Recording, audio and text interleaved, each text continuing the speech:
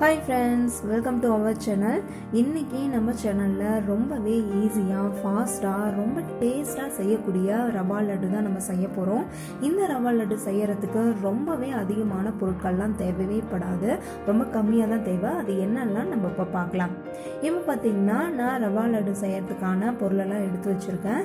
First நம்ம பார்த்தோம் அப்படின்னா முந்திரி திராட்சை எல்லாம் எடுத்து வச்சுருக்கோம். முந்திரி திராட்சை வந்து உங்களுக்கு எவ்வளோ தேவையோ அந்த மாதிரி எடுத்துக்கோங்க.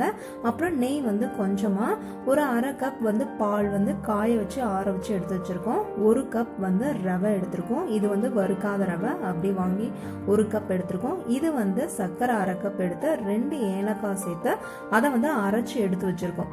இப்போ ஒரு பவுல் நம்ம எடுத்துக்கலாம். ஆல்ரெடி நம்ம எடுத்து வச்சுருக்கோம் இல்லையா ரவை? அதை வந்து இந்த பவுலோட நம்ம சேர்த்துக்கலாம். சேர்த்துட்டு இதனோட கொஞ்சமாக வந்து உப்பு சேர்த்துக்கலாம். உப்பை சேர்த்துட்டு அதோட நம்ம ஆல்ரெடி எடுத்து வச்சிருந்தோம் இல்லையா? பால் வந்து அந்த பாலையும் இதோட சேர்த்துட்டு நல்லா மிக்ஸ் பண்ணிக்கலாம்.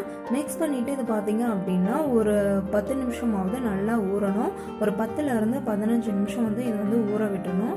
நல்லா மிக்ஸ் பண்ணிக்கலாம். ஃபர்ஸ்ட் நம்ம வந்து பால் வந்து சேர்த்துட்டு ரவையோட நல்லா மிக்ஸ் பண்ண பிறகு தொலை தொலைன்னு இருக்கிற மாதிரி தான் இருக்கும்.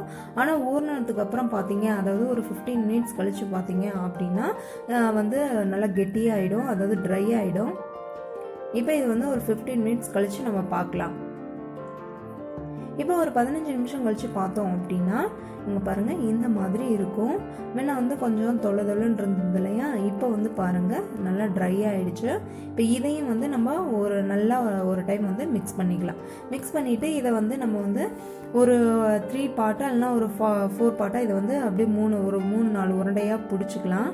பிடிச்சிட்டு நம்ம வந்து வந்து இது தோசைகளில் போட்டு எடுக்க போகிறோம் அதுக்கு முன்னாடி உங்கள்கிட்ட வந்து பட்டர் பேப்பர் இருந்தால் பட்டர் பேப்பர் எடுத்துக்கோங்க. இல்லைன்னா இந்த மாதிரி பிளாஸ்டிக் பேப்பர் எடுத்துக்கோங்க. எடுத்துட்டு அதில் நெய் தடவிட்டு நம்ம எடுத்து உருண்டை பிடிச்சி வச்சோம் இல்லையா? அந்த மாவை வந்து இந்த மாதிரி தோசை மாதிரி தட்டிக்கலாம் கையிலே. நான் வந்து கையிலே தட்டிட்டேன். உங்களால் வந்து பூரி கட்டெல்லாம் வச்சு தீக்க தீத்த முடியும் அப்படின்னா அதில் வந்து நீங்கள் தீத்திக்கோங்க. இப்போ இதை வந்து நம்ம வந்து தோசைக்கல்லில் போட்டு நம்ம எடுத்துடலாம். தோசைக்கல்லில் போடும்போது என்ன பண்ணணும்னா அப்பப்பைக்கு நம்ம வந்து நெய் விட்டுக்கலாம். இந்த நெய் சேர்க்கறதுனால என்ன ஆகும் அப்படின்னா இன்னும் சாஃப்டாகவும் நல்லா டேஸ்ட்டாகவும் இருக்கும். நம்ம சாப்பிடும்போது அதோட ஃப்ளேவரே தனியாக நமக்கு தெரியும்.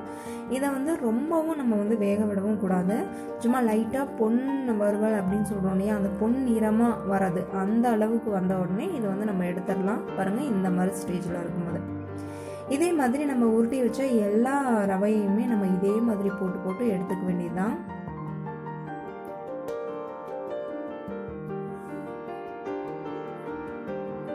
இதே மாதிரி எடுத்து வச்ச எல்லா ரவையுமே நம்ம ஊட்டி வச்சுருக்கோம் இல்லையா? அந்த எல்லா ரவையுமே இதே மாதிரி நம்ம தோசைக்கல்ல போட்டு நெய் விட்டு நம்ம எடுத்துக்கலாம்.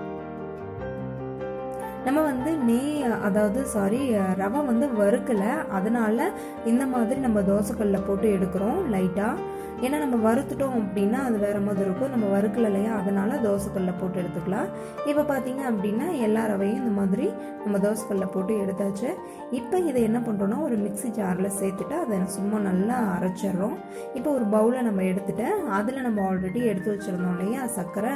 அதை அரைச்சி ஏலக்காய் போட்டு அரைச்சி வச்சுருக்கோம். ரெண்டு ஏலக்காய் நான் சேர்த்துருக்கேன். அதை வந்து ஒரு பவுலில் சேர்த்துட்டு நம்ம எடுத்து வச்சுருந்தோம் இல்லையா ரவை அரைச்சி.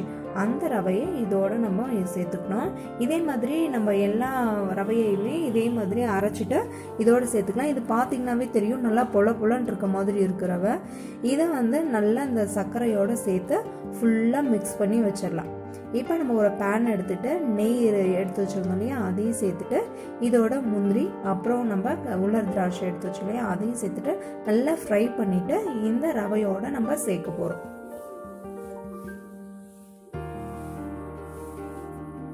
இப்போ இதோட நம்ம சேர்த்துட்டு இதையும் நம்ம நல்லா மிக்ஸ் பண்ணிக்க வேண்டியதான் மிக்ஸ் பண்ணிவிட்டு நம்ம வந்து உருளை பிடிக்க ஆரம்பிச்சிடலாம். பாருங்கள் எவ்வளோ அழகாக பார்க்கவே சூப்பராக இருக்குது சாஃப்டாக இருக்குது இது ரொம்பவே டேஸ்ட்டாக இருக்கும். நாங்கள் வீட்டில் செஞ்சு சாப்பிட்டப்போ அவ்வளோ டேஸ்ட்டாக இருந்தது. இது எல்லாமே இந்த மாதிரி நம்ம உருண்டை பிடிச்சி வச்சுக்க வேண்டியதான் இது வந்து பத்துலேருந்து பதினஞ்சு நாள் இருந்தாலுமே வந்து இது வந்து கெட்டு போகாது. அந்த அளவுக்கு சூப்பராக இருக்கும். இதே மாதிரி எல்லா உருண்டையும் நம்ம வந்து பிடிச்சிக்கலாம். நீங்கள் வந்து வீட்டில் இதே மாதிரி செஞ்சு பார்த்துட்டு சாப்பிட்டு பார்த்துட்டு எப்படி இருந்ததுன்னு சொல்லிட்டு எங்களுக்கு கமெண்ட் பண்ணுங்கள் மறக்காமல் நம்ம சேனலுக்கு வந்து சப்ஸ்கிரைபும் பண்ணுங்க ஓகே ஃப்ரெண்ட்ஸ் இன்னொரு சூப்பரான ரெசிபியோட நெக்ஸ்ட் வீடியோவில் நம்ம மீட் பண்ணலாம். Thank you friends